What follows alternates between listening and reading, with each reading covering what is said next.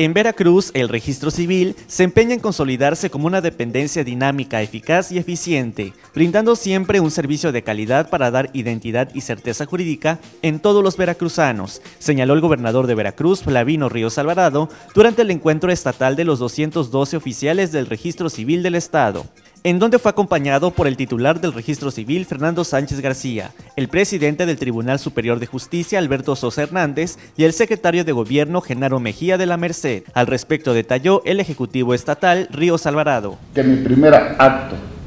como titular del Poder Ejecutivo del Estado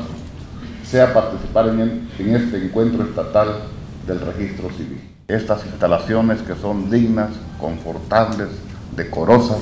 para que podamos llevar a cabo este encuentro estatal